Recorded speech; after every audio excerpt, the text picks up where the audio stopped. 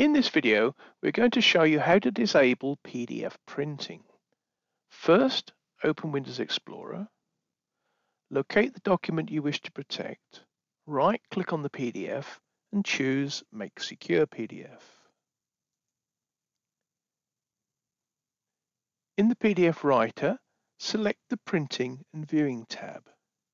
In the printing area, make sure the Allow Printing checkbox is deselected. If it is selected, remove it. And you're happy with that? Click Publish. The protection status window appears and confirms that the protection status has succeeded. Click OK. The protected document now appears in the folder beneath the original PDF. Please note it now has a .pdc extension. This is now a protected PDF file which can only be opened with the LockLizard Secure PDF Viewer. If we double click on the document, the Safeguard Secure Viewer will open and load the document.